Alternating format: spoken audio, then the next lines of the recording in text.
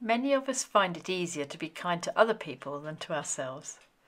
Being your own best friend means you can always have someone kind there when you need them. You can just look in the mirror to see them. When we're having a hard time or not sure what to do, it can be helpful to think what we'd say to someone else in our position. It's likely to be good advice. Positive and kind self talk is a really important way to help with well being.